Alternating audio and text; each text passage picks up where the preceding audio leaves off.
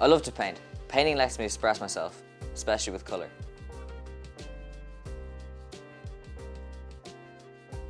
I love working with oils because the, the colours, you can do so much with them. They're so strong and there's such a variety that you can use.